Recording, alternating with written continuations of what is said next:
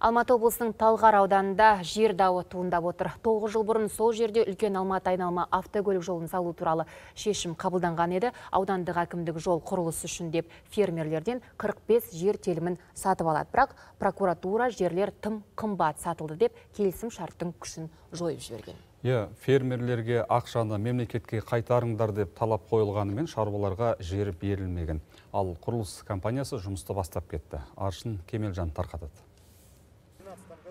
Талғар ауданының тұрғыны Дина Қалабаеваның бұл тұста бір гектардан астам жері болған. Мемлекеттің қажеттілігі үшін атап айтсақ үлкен алматы айналма автокөлік жолы салынады деген соң 21 миллион теңгеге сатқан. 2012 жылы нарықтағы баға сондай болған, бірақ содан бері мазасы кеткен.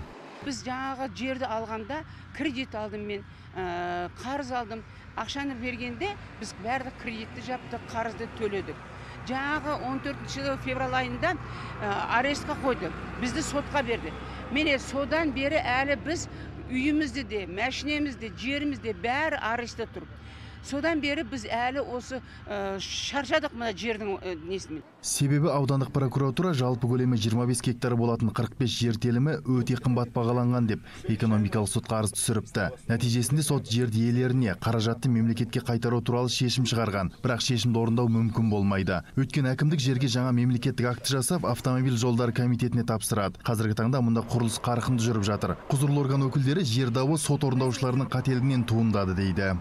Судебные исполнители немножко сот шешімінде жер иелеріне төленген қаражат көлеміне ғана шектеу қою туралы ашық жазылған. Яғни сот орындаушылар асыра сілтеген. Біз құжаттарды қайта көтердік. Аймақтық сот орындаушыларына жол құрылысынан тыс жатқан жерлерді сондай ақ басқа да мүліктерінен шектеулерді алып тастау туралы хат жібереміз. Қазіргі уақытта 45 жер телімін қайта бағалау жұмыстары жүргізіліп жатыр бағалау біткен соң жер иелеріне қайта төлем жасау бойынша жаңа өтініш беріледі бірақ қосымша қанша ақша төленетіні сараптамадан кейін ғана белгілі болады Тұрғындар осы күнге дейін мемлекетке қарыз болып келген еді. Енді мемлекет оларға қарыз болып шықты. Жергілікті әкімдіктің қателігі бюджетке тағы салмақ түсірмек.